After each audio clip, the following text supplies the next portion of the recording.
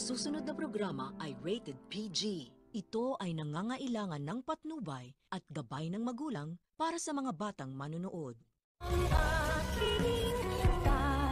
Isang mapagpalang araw po sa ating lahat at narito na po tayo para sa panibagong highlight episode ng Abot Kamay na Pangarap. At dahil nga nabangga ni Annalyn itong lalaki na may dala ng coffee at natapon ito sa kanyang katawan pati sa kanyang kamay ay nag-alala itong si Luke. Kaya agad ito nilapitan at kinumport at tiningnan kung may pasok ba yung kanyang kamay. At sakto naman na dumating itong si Annalyn at nagduda nga ito. Nanlaki ang kanyang mata dahil sa kanyang nakita. Ngunit pinaliwanag ni Annalyn na natapunan siya umano ng kape dahil nasagi niya at sinugundahan naman ito ni Locke. Kaya nga natapos na agad ang pagdududa ni at natapos na agad ang pagdududa ni Zoe. Samantala umuwi naman agad itong si Annalyn at pati si Zoe. At si Zoe ay hinatid nga itong si Annalyn sa kanilang bahay at ah, nagkaroon nga sila ng magandang pag-uusap doon. At uh, inassist nila ng maayos itong si Zoe at sinabi na baka magalit ng kanyang mami at sabi na hindi niya umano ipapaalam sa kanyang mami. Samantala, itong ah, tatay pala ni Dr. Tanyag ay ah, pumunta pala ito sa ospital at hinahanap naman itong si Dr. Tanyag. Ngunit ah, dahil galit itong si Dr. Tanyag ay hindi nga ito lumalapit sa kanya. At ah, sinubukan namang itong gamutin ni Annalyn at uh, chinik nga nila kung ah, may sakit nga talaga itong ah, tatay ni ah, Dr. Tanyag na hinahanap nga siya at ah, galit si Dr. Tanyag dahil tinakwil ito.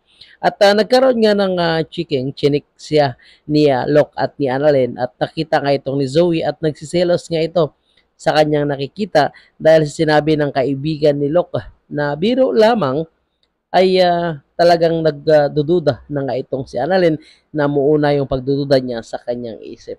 At uh, maya-maya konti lang ay nilapitan niya ito at tinanong kung pwede umano ma-share sa kanya ang kanilang pinag-uusapan na mukhang napaka-seryoso. At ah, wala naman sila umanong pinag-uusapan at ah, umalis na lang agad itong silok. Samantala, itong kaibigan ni Dr. Tanyag ay sinabi nga sa kanya na baka kailangan niya na patawarin ang kanyang ama dahil matagal na umano ito. Samantala, sinabi nga ni Dr. Tanyag na hindi niya unong mapapatawad ito dahil sa pag-abandon sa kanya at sakto naman na dumating nga itong kanyang tatay at narinig ang kanilang pag-uusap kaya hindi na ito nagpaparamdam. Samantala, itong si Zoe nga ay ah, may pakiramdam talaga na baka doon sa restaurant ay dumating din itong babae ni Locke. Kaya pumunta doon si Zoe at ah, tinanong at humihingi siya ng kopya ng CCTV. Ngunit itong ah, manager nga ng restaurant ay hindi sana papayag. Dumukot na ito ng pera at ibinigay dito sa manager at ah, apat na araw umano ang nakalipas pero tatry niya pa umano na may retrieve para umano makapagbigay ng ah, kopya nitong CCTV kay Zoe. Samantala, itong si Dr. Tanyag ay ah, pinaghahandaan na nga itong magaganap na birthday ni Annalyn at pati itong si Zoe ay pinaghahandaan na rin at pati na rin ang pamilya ni ah, Annalyn. Kaya nga naman ay uh, masusurprise umano si Annalyn sa kanilang gagawing party-party. Ika nga ang sabi naman ni Diyosa na hindi naman alam ni Annalyn.